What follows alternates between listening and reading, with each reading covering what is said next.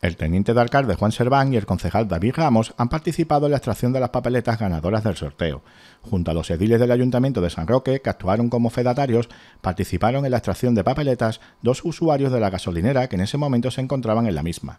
El gerente administrador de CODES, Francisco Zafra, explicó que se trata de una tradición que se hace en el área de servicio para todos los clientes.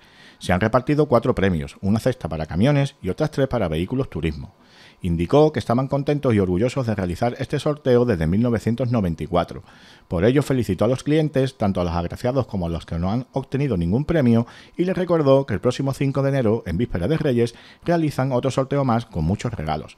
Semanas atrás, la clientela ha ido depositando los tickets de compra donde figuran sus respectivos nombres.